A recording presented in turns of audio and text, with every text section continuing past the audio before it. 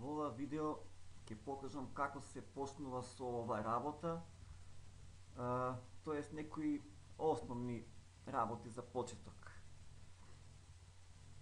А, значи, а, ова е бизнис со аплодирање, значи аплодираме на одредени хостинг сервиси кои не исплаќаат, тоест кредитираат за тоа,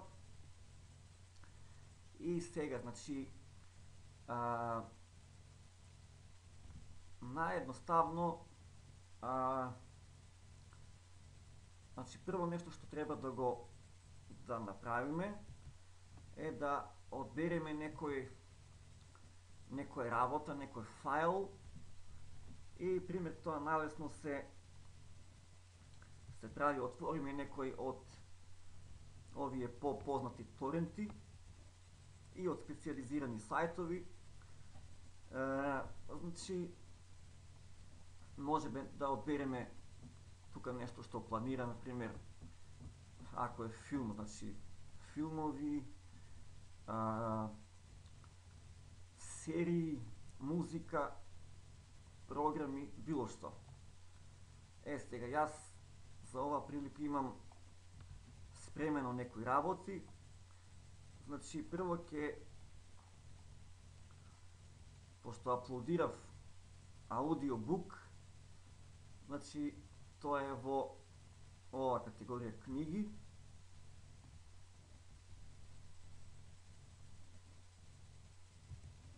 Отвараме аудиобук категорија. И сега треба да го најдам јас тој файл. Едноставно одам го копирам тој наслов,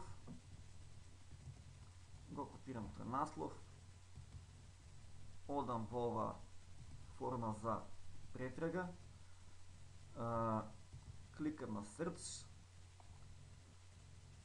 И сега, значи тоа е во Audiobooks, значи еве го. Значи тоа е тоа, Audiobooks. И сега ќе го отворам. И треба се што е тука посочено да копирам и да го ставам на тие сајтови на кои ние постираме, нели? Ние го постираме тој наш файл. Значи, прво нешто, одиме десен клик на слика, копи, копи image URL, а, одиме на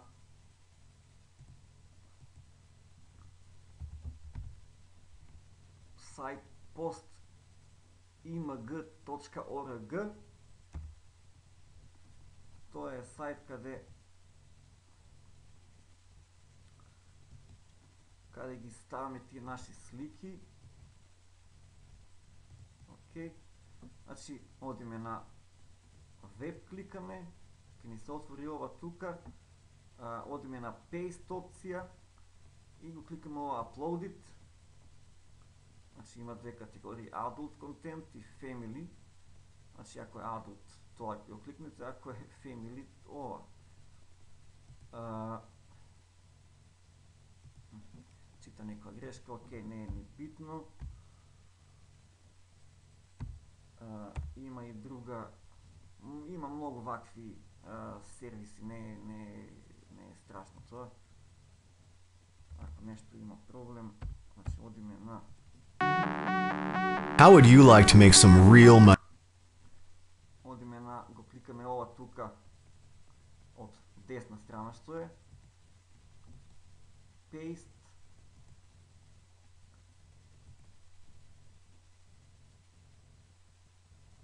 Еве го. А, ова прво го копираме, значи кликнеме еднаш со десен клик. Копи и одиме на тие наши сајтови кај, каде ги постираме овие а, овие значи фајлови, одбираме Audiobooks,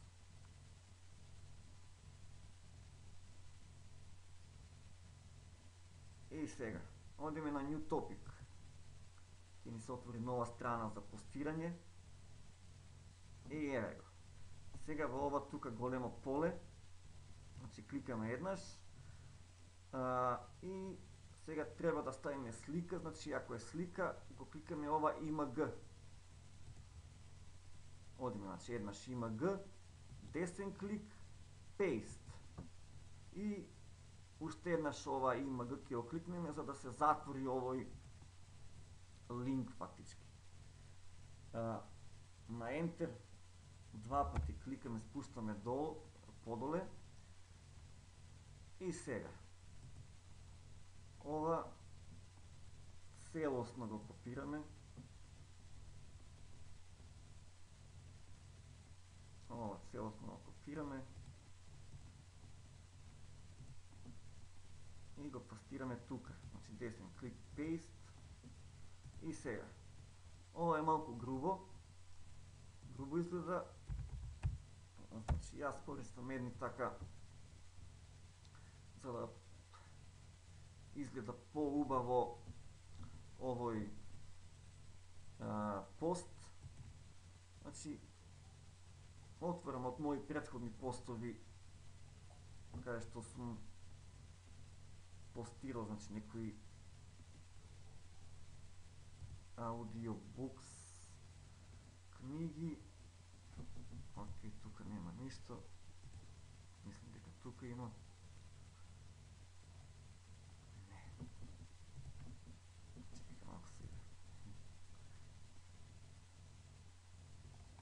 Океј, ова го барав мало сликиче. Тука пишува information. Ова чисто ради естетика, може и без ова, но поубаво изгледа, поатрактивно изгледа а, постол, значи попривлечен. кликам исто има Г, paste, уште еднаш да го затвориме и сега тука малку да го нашминкаме овој пост што се вика овој наслов ќе го ќе го селектирам. Ќе кликнам ова Б, ќе го обележам како болт да се здебели малку тоа овој наслов. И font color одбирам црно black. И сега добивам малку по а, поатрактивен пост и на крај треба да потенцирам, нели? Малку да испадне по слика атрактивен пост исто. Го копирав ова download. Значи ќе ставам img и сега кога и сега треба да ставам тој download код. Значи тоа е прво треба да го најдам тука пошто ми е uh, пошто ми е нели uh, аплодиран. Малку покасно ќе објаснам како оди тоа, многу е лесно. Само да го најдам насловот. Ева Ова е тоа, значи нула тука, значи нула даунлоди, уште не сум го ни постирал. Значи го едноставно кликам на него и тука ми го дава тој download линк. И сега тој download линк треба да го поставам. Прво ќе отворам ова, значи е за линкови кои се отвараат значи, во код ги ставаме, сите линкови што треба да не пренасочат на друг сајт, ги ставаме во код. Ова го користиме, код. А имг е за слики. Многу просто. И тоа е тоа. Значи, сега ми останува само да го овој наслов да го ставам, значи го копирам од тука, одам на subject ok сега ќе го селектирам целосно. Значи и на крај кликам на submit. И имаме готов пост.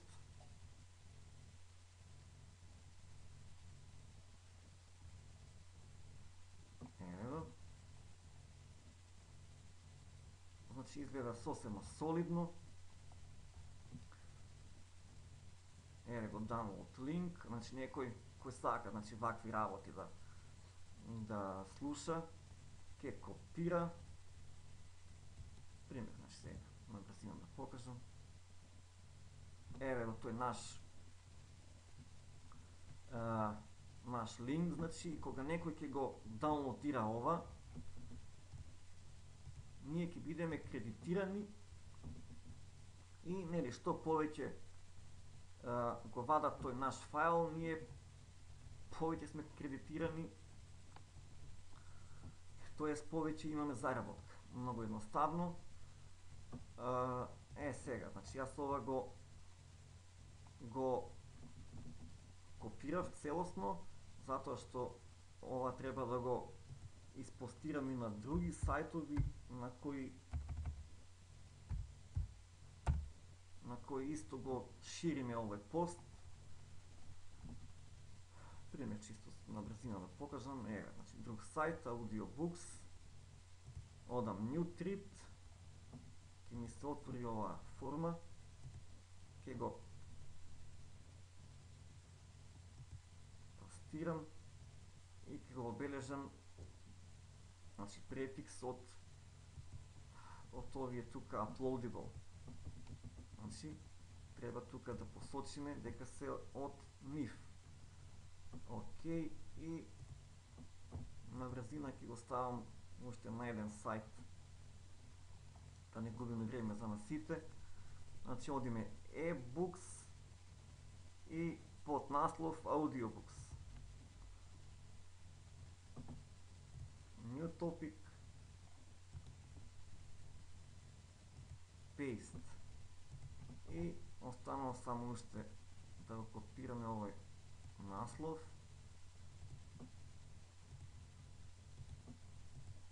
Paste.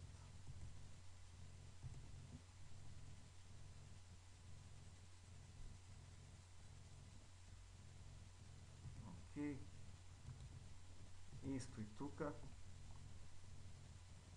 И кликаме на submit new treat Значи секој сајт е различен и различно функционира, така да тоа е тоа, значи некаде е само submit, некаде е тамо не знам што.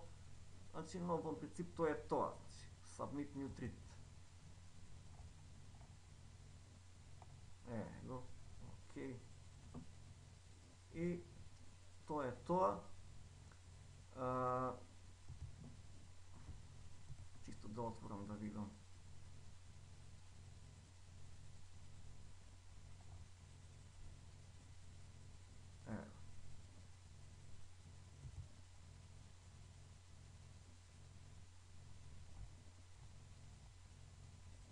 Океј. Океј, тоа е тоа. И имам уште уште една работа да да објаснам во ова видео. Значи тоа се серии. Серии се исто така многу популарни и доста ги вадат како и други работи, но чисто за пример во ова видео да да ви покажам. А, значи оваа серија ја а, ја аплодирам, тоест ја аплодирав, а, и сега, значи, одам во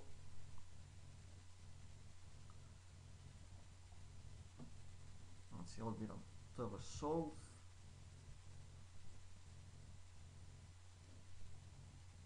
одам New Topic.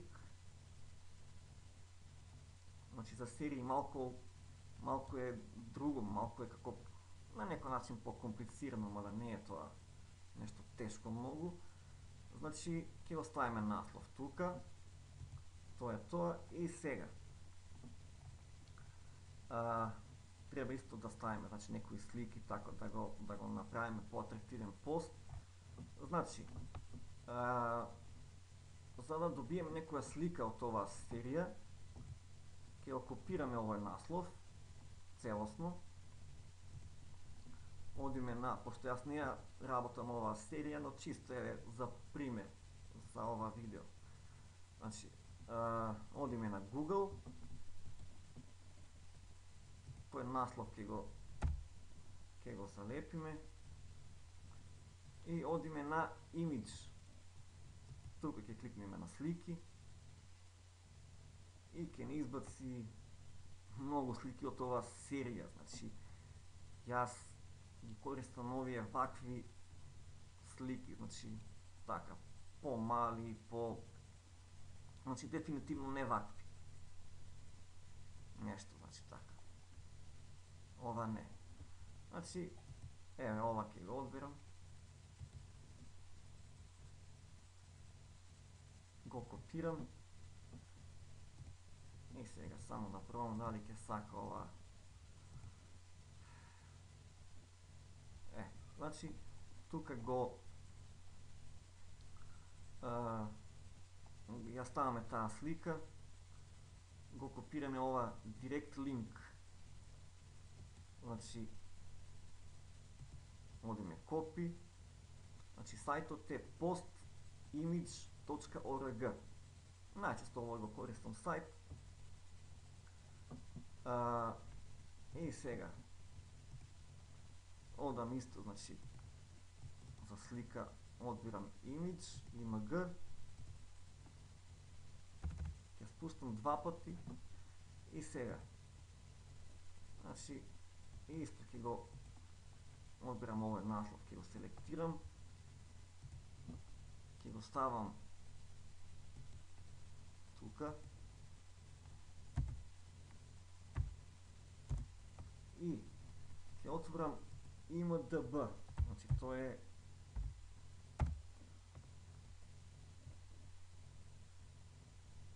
тоа е сајт нај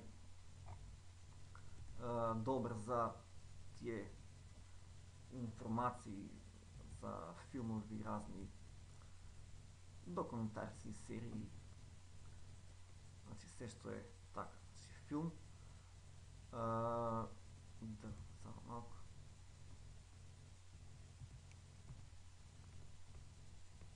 Ќе го копирам само овој наслов да ми даде информации зашто тоа е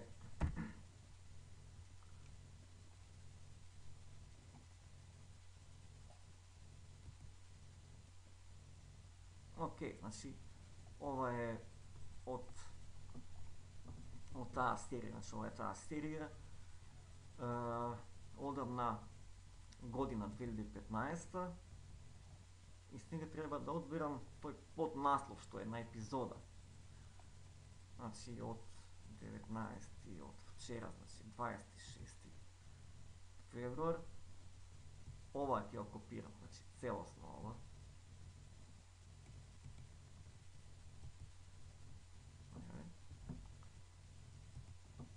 и во приложение ќе го поставам сега ќе го селектирам ќе го ставам во bold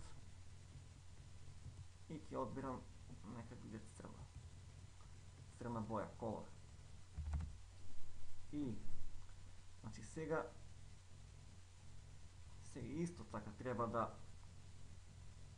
да го одбирам овој линк до тука каде што каде што завршува ова бројка пред коса црта. Значи ова ќе го селектирам. Ќе го копирам и треба да го поставам во код. Значи ако некој сака да види, значи тоа е битно, овој линк е многу битен. Да не кажам задолжително е да се стави. Значи ќе го поставам и тука на почеток ќе обележам дека ова е IMDB линк. Така, чисто естетски не мора, но естетски да биде поатрактивен постот. Ке одбирам, значи ќе оставам во црно, црна значи во црна боја. И сега спуштам доле, ќе одбирам пак код. И а, сега треба да ставам информации за овој файл. А тука користиме една програма, тоест јас користам, ја користам оваа програма, тоа е scengrabber.net. Е, ќе ја отворам. Ова ова програма а, е фактички наменета за а, слики, да, да, да правиме слики и, и скриншатови. Тоа така се вика, значи а, одиме на файл, uh, open file, и каде ние тој пост треба да одбереме, downloads,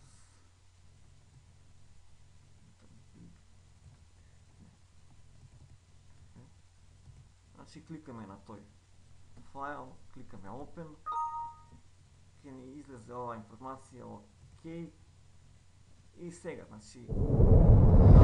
I just read about an experiment designed to see if you could make two people fall in love in a matter of hours. That doesn't sound right. My research has shown that it takes three to five years of shameless begging.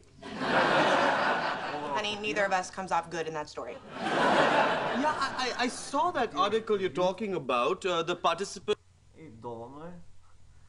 Let's see. Кликам значи тука.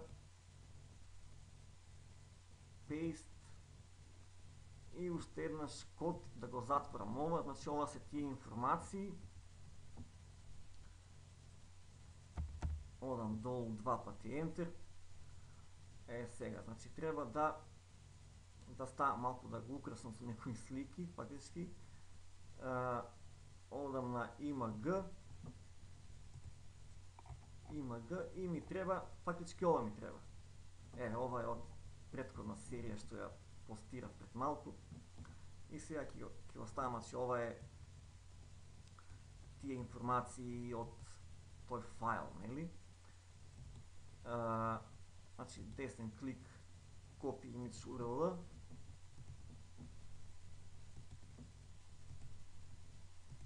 Океј.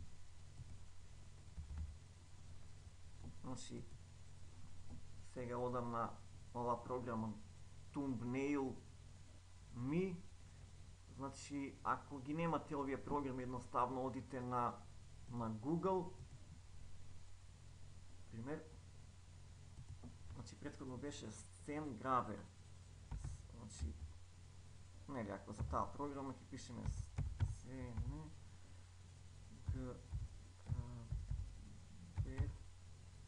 Е, значи scengrabber.net download, ова се е, слободни, значи сло, е, free download и едноставно, значи одите на значи тука, директ или тука ги даунлодирате овие програми и работите. Значи овие програми се многу важни за наша работа едноставно. Е, сега ќе се вратам на е, значи исто и оваа програма Tumb Nail значи само ќе ја ќе го кликнам Океј значи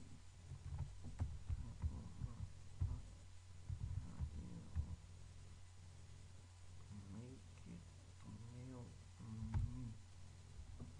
Океј, тоа е ова.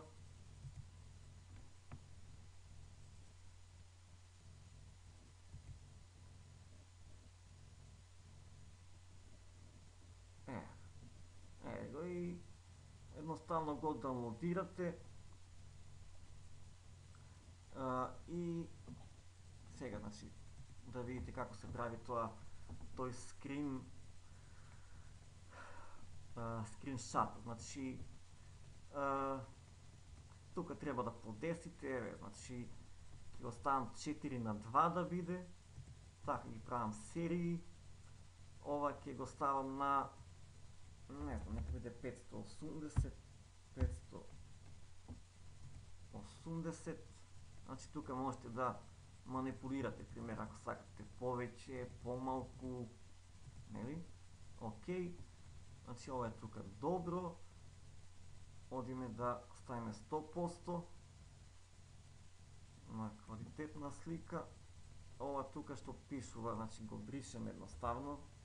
Не е потребно. Одбираме фонт. Од навик го ставам Arial. Едноставно и сега load кликаме и каде беше? Е, значи го одбираме. Open и на крај само кликаме на старт. И е, значи овие слики треба да ни ги направи оваа програма. И одиме на а, на овој сајт исто, нели? Каде ги постираме. И сега, пошто е од компјутер, одиме, значи кликаме компјутер, кликаме browse, значи директно ќе ни се отвори тоа каде сме последен пат биле. А, кликаме на слика, кликаме open, upload it,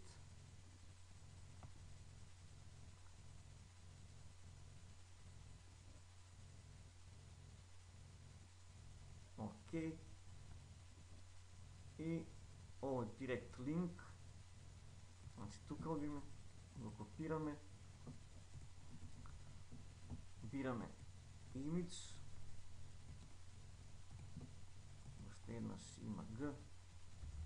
Пуштаме долу два пати на Enter. Чека ова нема потреба. Океј. Okay.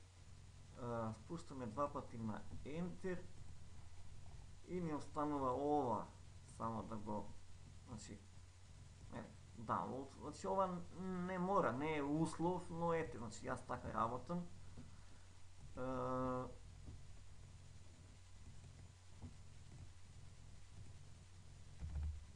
и на крај тие download линкови значи а,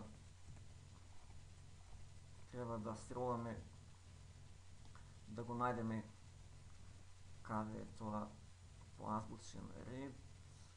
Само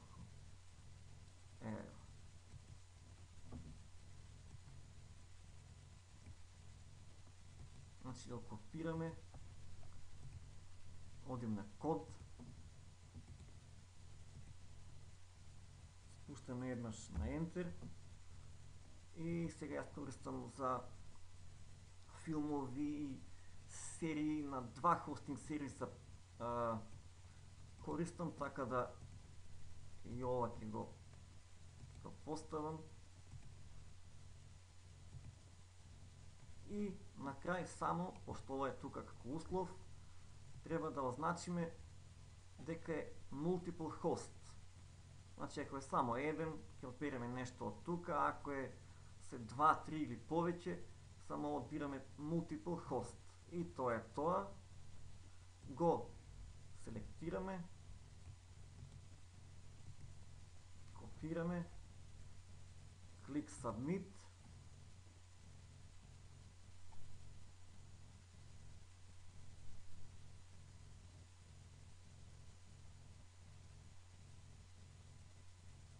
Океј, еве како изгледа сосема солидно. Значи има се што треба, убаво е направено, сосема солидно, значи тука нема што. И тоа е тоа, и сега ни останува, едноставно ќе го постирам на неколку сајта, чисто за пример.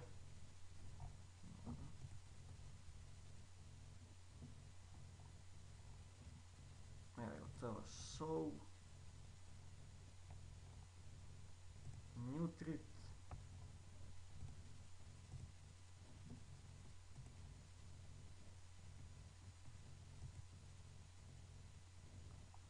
Значи, става сол.